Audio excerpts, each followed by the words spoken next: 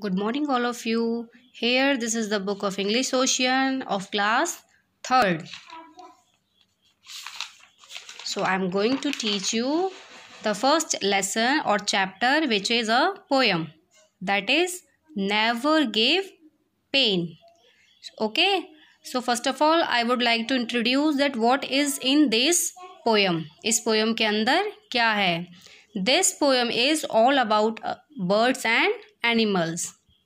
आप कभी कभी जब बाहर जाते हो तो आप देखते हो ना कि कभी कभी कोई कोई जो है बर्ड्स और एनिमल्स को पत्थर मार देते हो या उन्हें कोई भी चीज़ उठा के मार देते हो तो दिस इज़ नॉट फेयर ठीक है? तो आप कभी भी उनको स्टोन स्टोन या फिर कोई चीज़ उठाकर नहीं मारोगे। तो क्यों? क्योंकि these are creations of God ठीक है?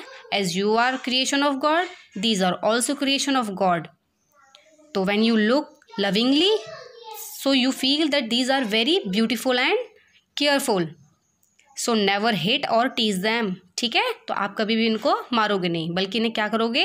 प्यार करोगे। तो this poem is all about छोटे छोटे जो लिविंग क्रिएचर्स होते हैं दिस इज़ ऑल अबाउट ठीक है?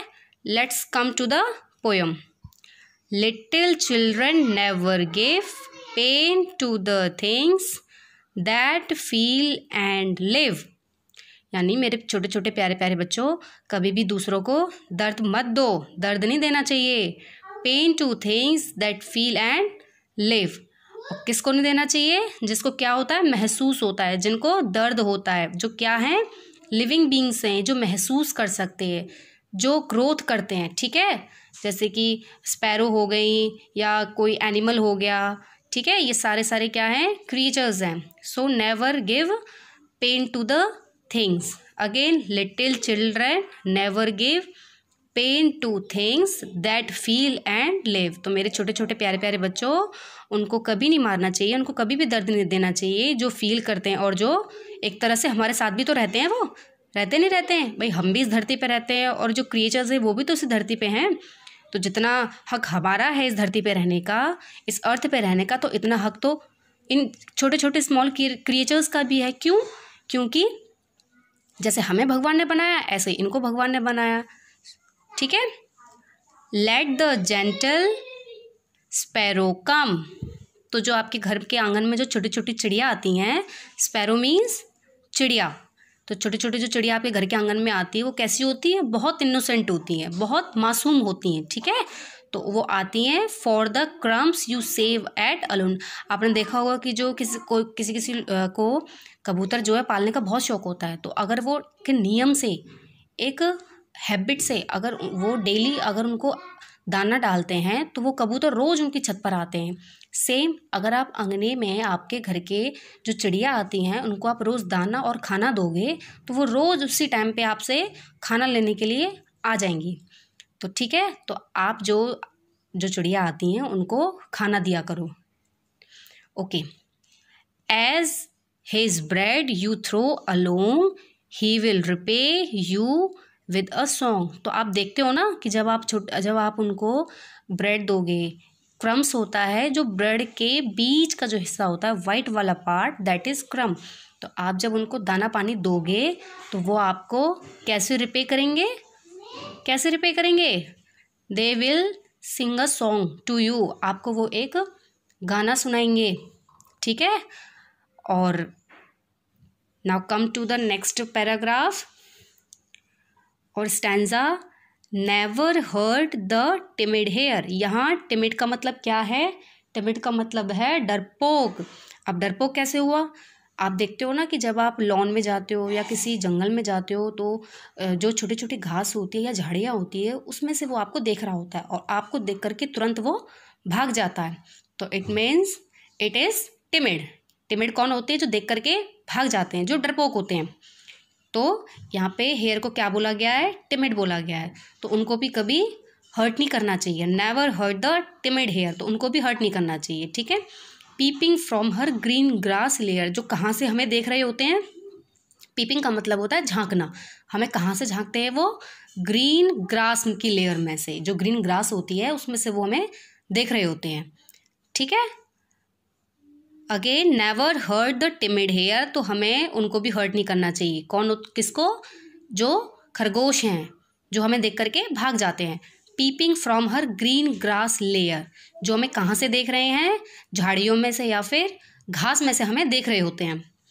Let her come and sport and play और क्या है? फिर उनको आप अगर आप उनको मारोगे या पत्थर मारोगे तो वो आपको देख करके भाग जाएँगे। लेकिन आ, अगर आप उनको प्यार से बुलाओगे तो वो आएँगे आपके पास आपके साथ खेलेंगे उछल कूद करेंगे और अदर एक्टिविटीज़ भी करेंगे। ठीक है? In the lawn at close of day तो क्या करेंगे? रोज़ आपके पास आएँगे और आपके साथ खेलेंगे। ठीक है? Let her come and sport and play in the lawn at close of day तो उनको आने दो, उनके साथ खेलो, कूदो, उन्हें भी थोड़ी मस्ती करने दो और आप भी उनके साथ मस्ती करो।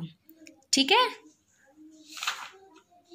Now come to the next stanza आप देख रहे हो यहाँ पे?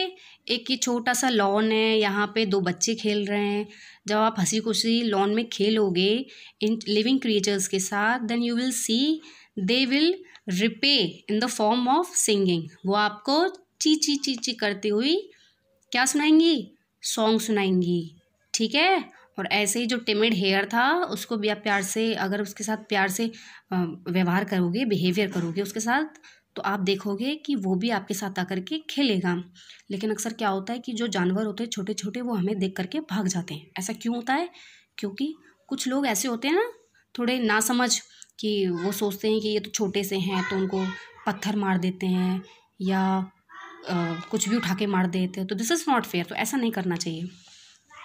So come to the third the little birds so soaring high कौन सी चिड़िया जो क्या करती हैं?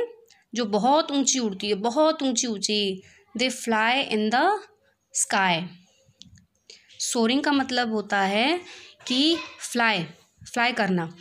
To the bright windows of the sky to the bright windows of the sky एक हमारा ये आसमान कैसा है? जैसे कि एक विंडो है।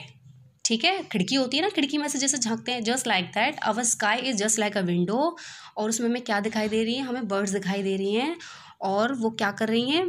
They fly in the high singing as if it is were always spring और वो गाती हैं। कब गाती हैं?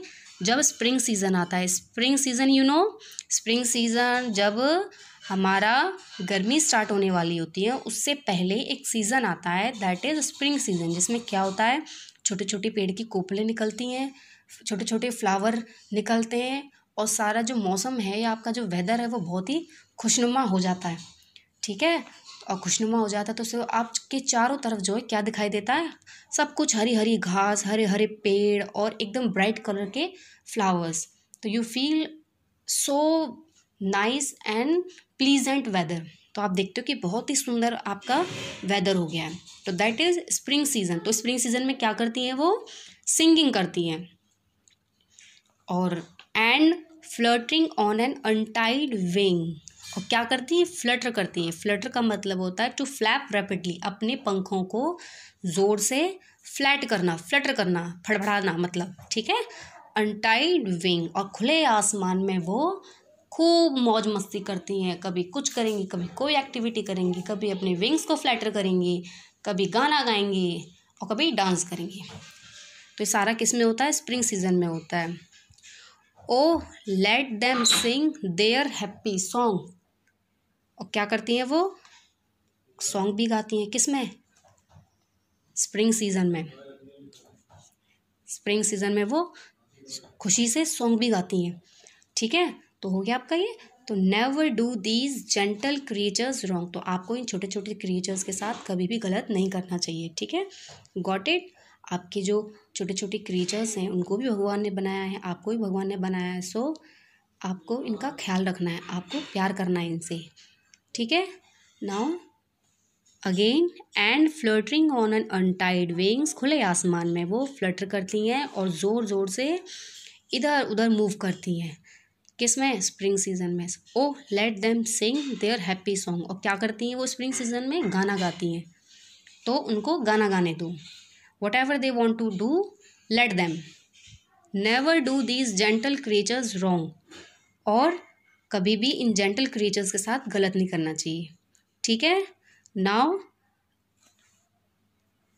आपकी पोएम यहाँ ख़त्म हो जाती है। तो आप एक बार और देख लेना इधर पीछे से। ठीक है? एक बार और अच्छे से देख लेना। और मैं आपको हार्ड वर्ड्स और और आपको होमवर्क भी दूँगी मैं। आपको बता दूँगी मैं आपको क्या करना है। ठीक है? ओके